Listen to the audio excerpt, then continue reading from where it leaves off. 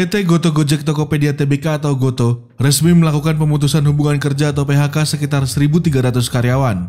Perusahaan mengklaim langkah ini cara untuk beradaptasi dengan tantangan global yang berdampak besar terhadap Goto. Berdasarkan sumber yang diterima bisnis, jumlah karyawan yang dirampingkan oleh Goto sebanyak 1.300 karyawan atau 12% dari total 9.630 karyawan. Manajemen juga menyebut karyawan yang terdampak telah mendapat pemberitahuan hari ini Nantinya, karyawan yang terdampak akan mendapatkan kompensasi sesuai dengan peraturan perundang-undangan ketenagakerjaan yang berlaku.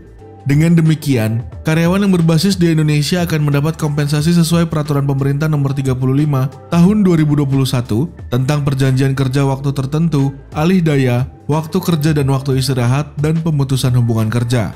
Manajemen menilai Goto harus berupaya untuk berakselerasi menjadi bisnis yang mandiri secara finansial dan tumbuh secara sustainable dalam jangka panjang. Ke depannya, Goto akan fokus kepada layanan inti yang terdiri dari on-demand, e-commerce, dan financial technology. Sementara itu, Goto mengklaim mencatatkan pertumbuhan yang konsisten dalam tiga layanan inti tersebut dengan mendorong peningkatan jumlah pengguna multiplatform, alokasi secara efektif, dan membangun sinergi terintegrasi dalam ekosistem.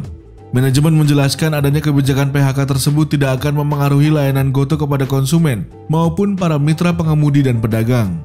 Di sisi lain, salah satu investor Goto, anak usaha PT Telkom Indonesia Persero Tbk atau TLKM, Telkomsel, menyampaikan pandangannya terkait aksi pemutusan hubungan kerja atau PHK karyawan Goto. Vice President Corporate Communication Telkomsel Saki Hamsat Bramono menerangkan, sebagai salah satu investor, Telkomsel menghormati kebijakan yang diambil oleh manajemen Goto.